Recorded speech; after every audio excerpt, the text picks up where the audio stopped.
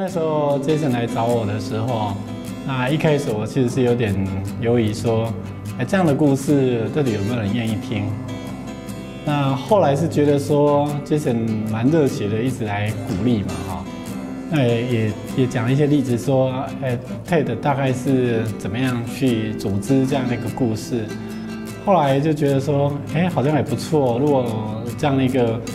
那时候是觉得蛮洒劲在推一些事情嘛，哈。那如果透过 TED 也让自己好像又有一些能量的吸取，那后来真正上 TED 的讲台的时候，我觉得 TED 一个蛮重要的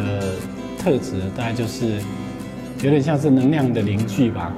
特别是看到 TED 那个场地的时候，看到很多热血的学生，那时候我就碰到成大来的学生，说那么远的学生跑到这里来，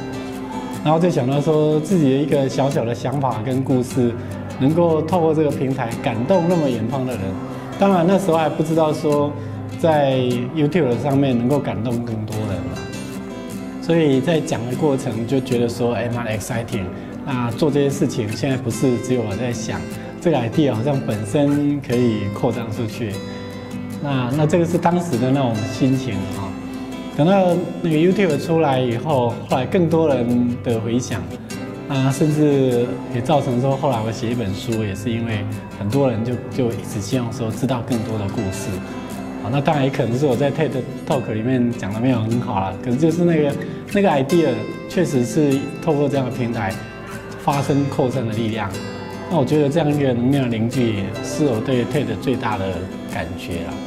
所以后来在很多场合，我也都鼓励说，哎，大家可以把这个故事好好做下去。那也许有一天就会有人，呃，有这个机会可以让你把这个 idea 往外传递。那这样的话，其实会让社会上很多人会看到一些问题的时候，他愿意比较洒劲的、有热血把它做完，因为他知道说，其实可能不是只有他在做，一堆人在想说怎么改变这个世界。那因为我们每一个人都很渺小，我们只看到一小部分。